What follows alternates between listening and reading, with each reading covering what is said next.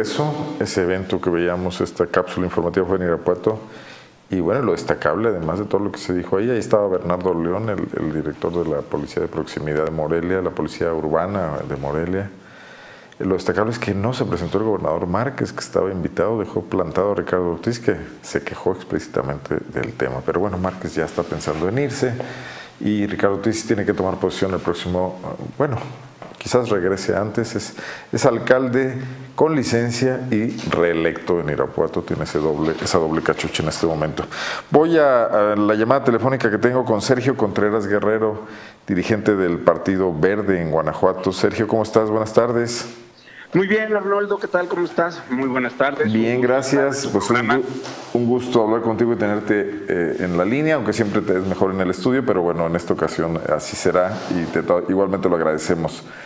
Oye, ¿cómo, ¿cómo, ¿cómo, estás viendo la preparación de lo que se viene, la toma de posición de las nuevas autoridades? ¿Cómo está el verde preparándose para enfrentar los retos que les encomendaron en las urnas los ciudadanos el pasado primero de julio? Sin lugar a dudas, Arnoldo, creo que tenemos tres retos. El primero es una agenda que se fortalezca en el tema de seguridad para el Estado.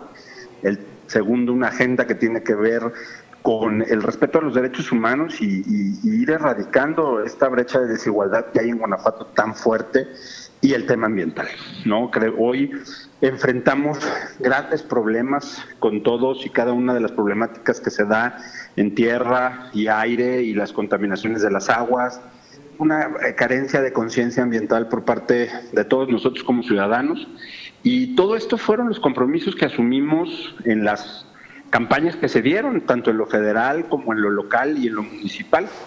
Hoy estamos trabajando con nuestros, pues ahorita te puedo decir virtuales diputados, porque aún el Instituto Electoral no ha entregado las constancias, eh, porque no se han resuelto los juicios eh, en los distritos electorales. Entonces, pues estamos trabajando con nuestros diputados, con nuestros regidores, con nuestros alcaldes electos, para ir articulando estas tres agendas. Sí, bueno. Sí, te escucho. Sí, sí, sí. Correcto. Eh, quisiera eh, tocar los temas como los estás tocando. Seguridad primero, ¿no? Uh -huh.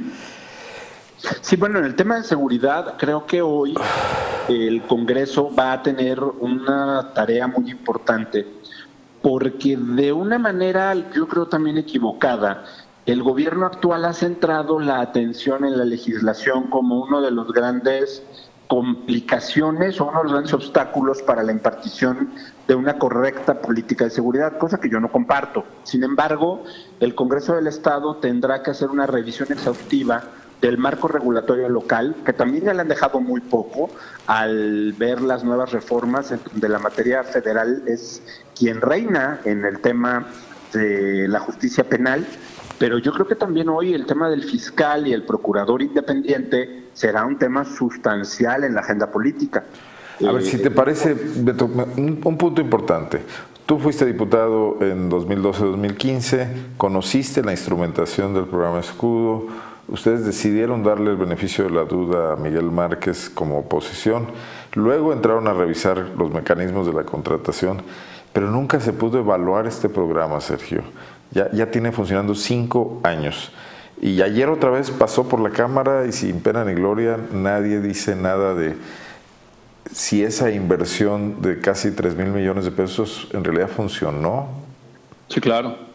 Mira, creo que, como bien lo mencionas, hace poquito más de cinco años eh, se le dio un beneficio de la duda y, no, porque recordarás que el Congreso no tenía ninguna injerencia en la aprobación del programa, simplemente se nos comentó para conocimiento, pero sí nos molestamos en aquel entonces porque el contrato nunca se nos planteó ni las condiciones de contratación pasaron por el Congreso cuando se debió haber hecho al tratarse de un compromiso quinquenal y el monto que era. Eh, realmente recuerdo que fue un 28 de diciembre, pareciera que de, de 2012, como broma de los Santos Inocentes, sí. cuando se firma en lo oscurito ese contrato. Eh, y hoy, pues tenemos ya una clara circunstancia sobre que este programa escudo, que se manejó como una gran arma o un gran programa de defensa para el Estado, no funcionó. Y que desgraciadamente en las auditorías que se han realizado, pues poco se ha encontrado. Nosotros lo que sí hicimos... Pero es porque las auditorías se han hecho superficialmente o es porque en realidad no... Eh, digo, eh, eh, ¿cuál es el tema ahí? Hay auditorías que les llaman de, desempeño, que son diferentes a las financieras.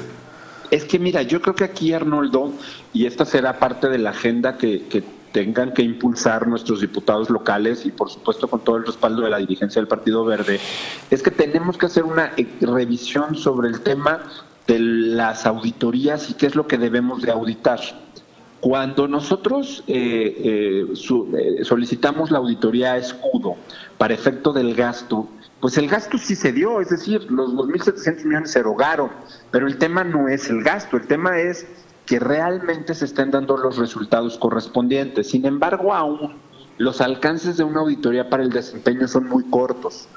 Eh, creo que ahí es donde tenemos que ser más inquisitivos como, eh, como políticas públicas para poder determinar si esos 2.700 millones fueron o no correctamente invertidos y que la mala inversión de los mismos por la pocos resultados pueda dar responsabilidades, porque una auditoría del desempeño no te genera responsabilidades ni civiles, ni penales, ni administrativas, eh, solamente recomendaciones. Hoy las auditorías a los desempeños solamente le dan recomendaciones y también vienen varios cuestionamientos. La ASEG como órgano de auditoría, él está para el cuidado de los recursos y el tema es quién se va a encargar en esas autoridades de desempeño de determinar que las acciones sean las correctas porque requeriríamos especialistas de muchos tipos y ahí yo creo que la gran participación es de la ciudadanía o sobre todo de especialistas en academias, de especialistas eh, en, centros de investigación técnica para que podamos hacer unos verdaderos contrapesos en, la revisión. Pero bueno, pues nada de eso está pasando, Sergio. Y ya en el horizonte, en el horizonte vemos, apreciamos los que estamos atentos a este tema que ya se está, está apareciendo el relevo de escudo y que el relevo de escudo va a ser el programa que vende Carlos Medina Plasencia. Eh, que, toda esta defensa que se hizo de escudo durante estos cinco años, pues ya le van a dar la vuelta a la página y van a cambiar cámaras y software y contratar un nuevo equipo, también sin ningún balance y sin ningún análisis, ¿no? Pues mira, por parte de los diputados, de parte del Partido Verde, yo te puedo decir que no va a pasar sin que nosotros hagamos lo propio en las observaciones, en, las, eh, en los análisis que se tengan que realizar. Hoy nos toca hacer oposición y eso no quiere decir que le digamos a todo que no, por supuesto. La responsabilidad es construir por un buen Guanajuato, pero eso también implica el denunciar y el poder hacer un llamado puntual a quien le toque esa responsabilidad de decisión para que no se contraten cosas que no le van a beneficiar al Estado. Eh, tanto los representantes del Verde como partido, como eh, representación en el Congreso y en los gobiernos, nuestra gran responsabilidad es velar por los intereses de la ciudadanía, no por los intereses de ningún grupo, de ningún empresario ni de ningún proyecto en lo individual. Entonces, ten por seguro que haremos lo propio en todo y cada cosa que no convenga a Guanajuato y lo señalaremos, lo denunciaremos, y no nada más mediáticamente, no. Haremos valer nuestras denuncias ante las instancias gubernativas, jurisdiccionales correspondientes, porque ya basta de querernos ver la cara como ciudadanos para que solo se beneficien los bolsillos de algunas personas y no así la seguridad de nuestro Estado, la situación de, pobreza que reina y mejore y el terrible deterioro ambiental en que nos tiene.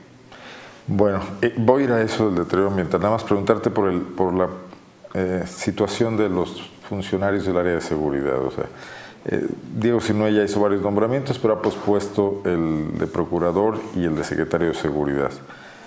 Todo indica que, habrá una ratificación, digo, es lo que se ve al día de hoy, analizando todas las señales posibles y desde luego podemos equivocarnos, ¿no? Claro. ¿Cuál es la postura de ustedes en este sentido, derivado de la situación que vivimos, del desempeño que han tenido estos funcionarios? Pues Amarripo por nueve años y Álvaro Cabeza de Vaca por seis ya. Yo creo que nuestras leyes y los cambios de sexenio son precisamente para que se le dé un giro de timón importante a todas y cada una de las políticas públicas. Creo, y lo he venido diciendo, que la ratificación de cualquier funcionario de primer nivel de este gobierno para el próximo sería un error. porque te da ceguera de taller y además en muchas áreas los resultados no son los que queremos ni los que nos prometieron. En el tema de seguridad está a la vista el gran deterioro que ha tenido nuestro Estado, la pérdida de la paz y la tranquilidad que tenemos los guanapatenses, y en el Partido Verde que estamos convencidos de que una ratificación tanto en la Procuraduría como en la Secretaría de Seguridad Pública sería un error por parte del gobernador electo. ¿Han tenido reuniones? ¿Se ha reunido con la oposición? ¿El gobernador estableció algún tipo de diálogo con eh, los otros partidos políticos? Hasta ahora no.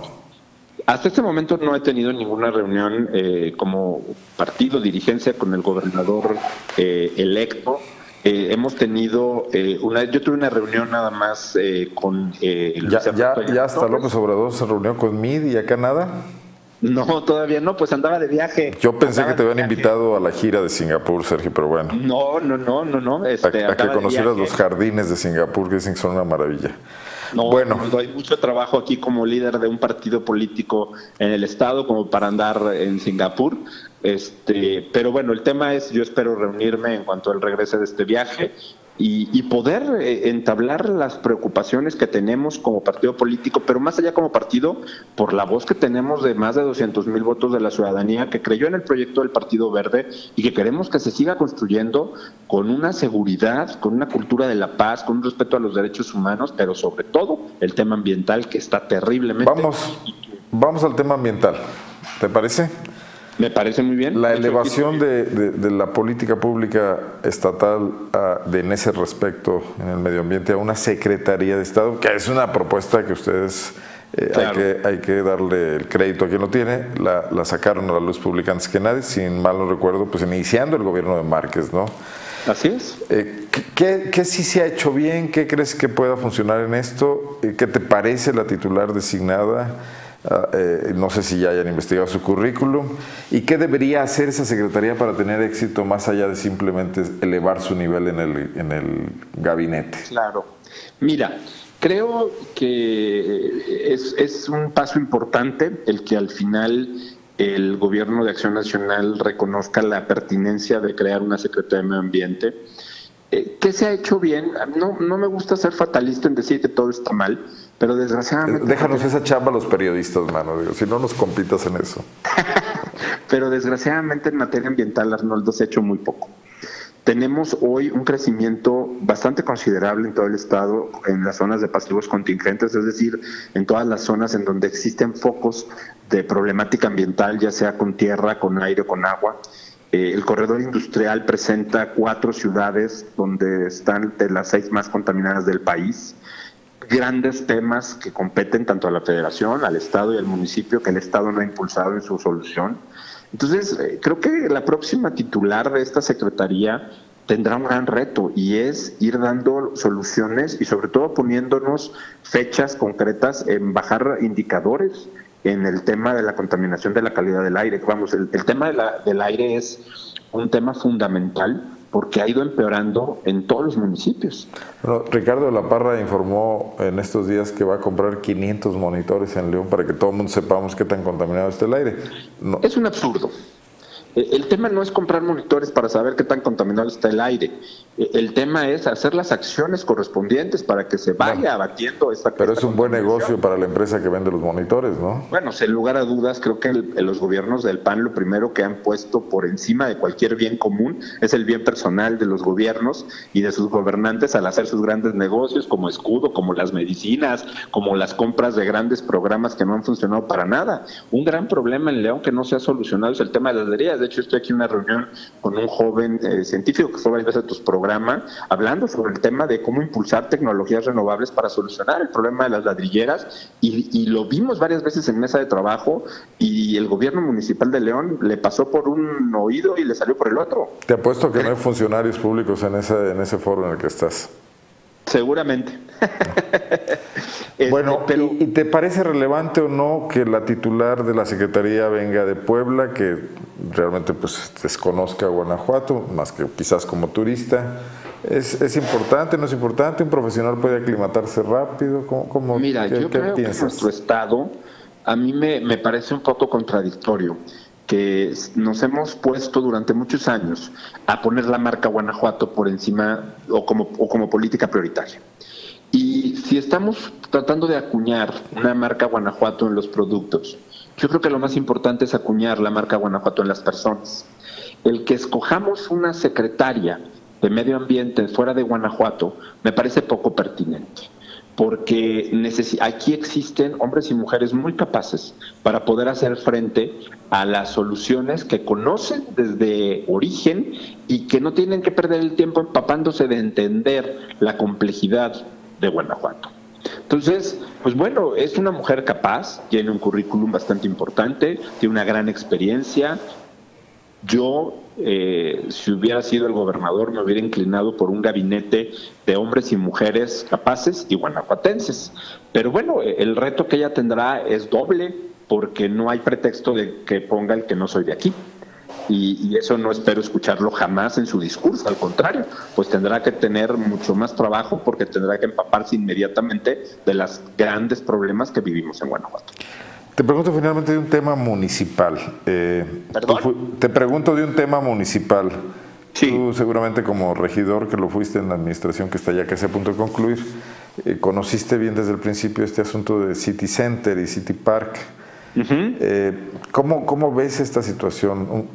los edificios enormes que se están construyendo ahí, la posibilidad de que haya afectaciones a un parque público, de por sí tenemos pocos lo, he, declarado, Arnoldo. Recordarás que yo fui el primero que denunció City Park hace ya más de dos años en una acción de ayuntamiento. Logré frenarlo en aquel momento porque el estudio de impacto ambiental estaba mal, venía sin las firmas, es decir, sería un trámite indebido y, seguimos trabajando en su momento para que este proyecto, si se realizaba, contara con todas las autorizaciones y con todos los trámites correctos en materia ambiental por el riesgo que da el que dos cuerpos de agua muy importantes para nuestra ciudad puedan verse perjudicados. Y hablo del Parque Cárcamo, del Cárcamo en concreto, como de la presa El Palote. Yo eh, seguiré diciendo que es una irresponsabilidad del gobierno municipal que encabeza Héctor López Santillana el seguir adelante con este proyecto hasta en tanto no se garantice con estudios debidamente acreditados, validados, el cual no tenemos eh, tres grandes riesgos. El deterioro del cárcamo y de la presa por los vasos comunicantes. Dos, el, el, tronar un hábitat migratorio para varias especies, entre ellas el, águila pescadora, y el otro, el poner a concesión un espacio público de las y los leoneses para que un desarrollador tenga una plusvalía y un beneficio personalísimo.